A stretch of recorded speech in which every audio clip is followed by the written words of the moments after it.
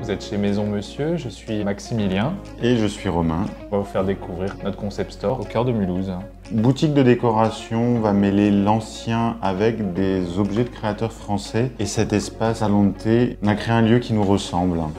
Qui s'occupe de la déco je suis la locomotive pour la déco. Ça part toujours d'un coup de cœur et chaque objet est minutieusement choisi en fonction de leur qualité, de ce qu'ils évoquent. Le plus important pour nous, c'est que derrière chaque objet, on puisse expliquer quelles sont les mains qui l'ont fabriqué. On parcourt les routes d'Alsace, mais pas que. On va aussi en Normandie et dans le sud de la France. On essaye d'apporter un petit peu de pièces d'autres régions. Du fait d'avoir travaillé dans une, pâtisserie-chocolaterie, on voulait proposer cet espace salon de thé pour déguster de, bons produits. On propose parmi d'autres pâtisseries des cakes maison, dont un coup de cœur de beaucoup, le carotte cake. Un chocolat gourmand comme à la maison. Paraît que c'est l'un des meilleurs de Mulhouse. Le secret, c'est le bon chocolat puis beaucoup d'amour. Pour Pâques cette année, nous travaillons beaucoup avec la Ciergerie des Prémontrés, qui est la dernière ciergerie de Provence. Des jolis moulages, lapins, poules, coques, des couleurs naturelles.